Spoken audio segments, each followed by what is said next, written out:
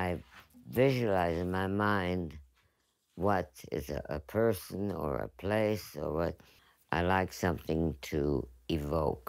I want the subject of whatever it is to present itself in its deeper way.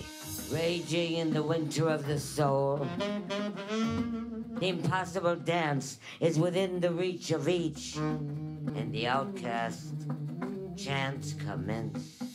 My name is Ruth Weiss. I knew all my life I am to be a poet and that the poems would have meanings in the world. Ruth Weiss has a very unique place in American history. She contributed to our culture with her poetry and the innovation of the jazz and beat poetry. I was uh, living downstairs in the basement in a room I'd painted all black with a blue bar light bulb, and Ernest Alexander pulls the paper out of my typewriter and reads it. He runs up the stairs and says to the music, You gotta hear this. And I started to read, and they started playing music. She uh, is a true innovator of beat jazz poetry. In fact, historically, she may have been the first. The beats literally changed the course of America and the world. So much so that a young person today considers the values from the beat generation to be normal. The next show is about to begin. Mama Earth and her troupe present The New Begin. The Beats didn't know what they were doing at first. Allen Ginsberg or Jack Kerouac or Ruth Weiss were running around thinking in this fashion, but they were living that. Jack showed up usually two, three in the morning, and he was always drinking red wine. and I was always drinking beer. And uh, out of the blue, we started writing haiku to each other.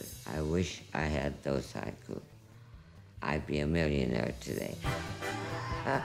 the women really did get short shrift in the 50s. It was the boys that got all the publishing contracts. I sent off things several times.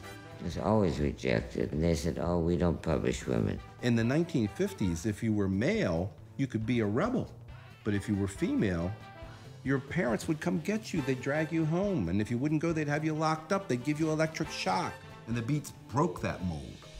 The poem kept me going. The poems kept me going. She has always performed, she's always read, and she's always been interested in having art happen and having art happen in a performative way. I never had brothers or sisters, and all my relatives died in concentration camps. So my work is the thing that will continue my line. If Ruth Weiss hadn't survived the Nazis in Austria, our culture wouldn't be like it is now. Do what you feel from inside, not just what you want. Follow that inside. Go deeply in what is really important in life, and that almost sounds like live, but it's called life.